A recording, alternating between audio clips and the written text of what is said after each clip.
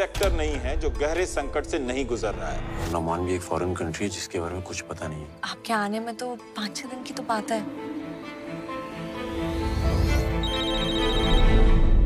Hello Sameer Nargis? मुझे वापस घर आना है समीर। मेरा नाम समीर चौधरी है। मेरी वाइफ मिसिंग है। इस एड्रेस पे जाना है। एड्रेस गलत है। ऐसा कोड है ही नहीं। मेरी बीवी को ढूँढने में मेरी मदद करती अंग नशेरा जी कवादी मखली शिराजी जिस फरोशी का धंधा करता है।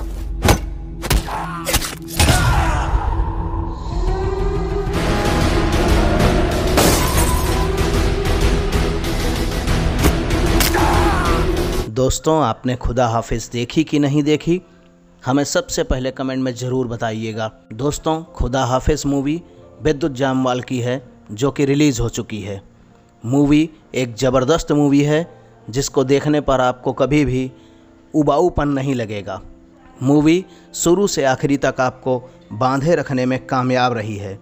ये मूवी हर समय, हर पल आपको एक नया सस्पेंस देती रहेगी। इस मूवी में विद्युत जामवाल का एक्शन और इमोशन दोनों देखने लायक है। मूवी शुरू होती है एक बहुत ही अजीब से घटनाक्रम में। विद्युत जामवाल और उनकी पत्नी एक साधारण परिवार से बिलोंग करते हैं। बहुत पैसे वाले वो नहीं होते हैं, लेकिन उसी समय मंदी का दौर आ जाता है और मंदी के दौर में उनके घर में पैसे की बहुत तंगी हो जाती है। पैसे की कमी के कारण विद्युत जामवाल की पत्नी काम करना चाहती है और अपने घर को संभालना चाहती है। इस पर विद्युत जामवाल की पत्नी पैसे कमाने के लिए अपना देश छोड़ करके दूसरे देश में चली जाती है और यहीं से होता है कहानी में ट्विस्ट।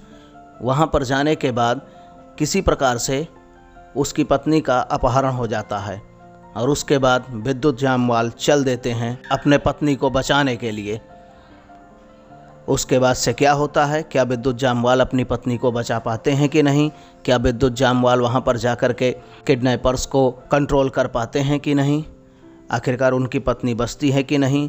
और आखिरकार वेलन का किरदार कैसा रहा होगा? पूरी चीज़ों को जानने के लिए आपको movie Disney plus Hotstar पर देखनी पड़ेगी।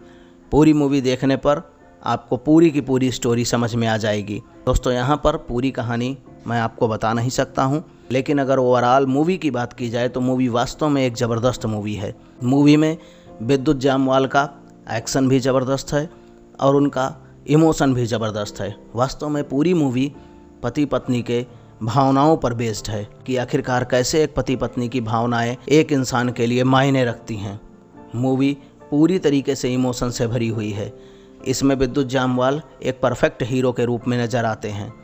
जब उनकी पत्नी मिसिंग होती है, उस समय उनका इमोशन और उनका व्यवहार देखने लायक होता है और जब वो एक्शन करते हैं, तब भी उनका व्यवहार देखने लायक होता है। अभी तक विद्युत जामवाल को हमने प्योर एक्शन में देखा है। इस मूवी में हम उन्हें एक परफेक्ट हीरो के रूप में देखेंगे। इस मूवी में एक ज़बरदस्त किरदार और है अन्नू कपूर का। अन्नू कपूर की एंट्री फ़िल्म में थोड़ी देर से होती है, लेकिन जब होती है तो बहुत ही शानदार और ज़बरदस्त तरीके से होती है। उनका रोल भी बहुत ही ज़बरदस्त है। उन्होंने फ़िल्म में पूरी तरीके से जान फूंक दी है। और अगर ये कहा जाए कि इस मूवी में क्या है ऐसा कि इसे देखा जाए तो वास्तव में इस मूवी में वो सब कुछ है जो हम देखना चाहते हैं। फ़िल्म में पति पत्नी का पूरा का पूरा रोमांस है, पूरा का पूरा इमोशन है और इस तरीके की भावनाएँ हैं कि आप अपने आप को एक भी पल मूवी से अलग नहीं कर पाएँगे। मूवी शुरुआत के 10 मिनट में ही आपको इस तरह बाँध देती है कि आप किसी भी कीमत पर मूवी को छोड़ने को तैयार नहीं होंगे। आप यही कोशिश करेंगे कि पूरी मूवी एक एक सीन के साथ आप देख लें, उसके बाद ही कोई काम करें। तो दोस्तों, इस मूवी में आपको हर एक तरीके का मसाला मिलेगा। या यूँ कहें कि पूरी तरीके से फुल आप मसाला मूवी है। इस मूवी में हमें इंटरटेनमेंट करने के लिए जितना कुछ भी हो सकता है सब कुछ भरा गया है। वास्तव में ओवरऑल अगर कही जाए तो मूवी बहुत अच्छी है। एक्शन भी है रोमांस भी है ड्रामा भी है फिक्सन भी है, सारा चीज़ें हैं। वास्तव में अगर आपने मूवी नहीं देखी है तो इसे अभी जा कर के या समय निकाल करके ज़रूर देखें। और अगर देख ली है तो हमें कमेंट बॉक्स में ज़रूर बताएँ। और दोस्तों, अगर चैनल को सब्सक्राइब नहीं किया है तो धमाका बॉक्स को सब्सक्राइब कर लें, बगल में बने घंटे के निशान को दबाएँ और आल नोटिफिकेशन को ऑन कर लें, जिससे कि हमारे आने वाले सभी वीडियो आपको तुरंत मिल जाएँ।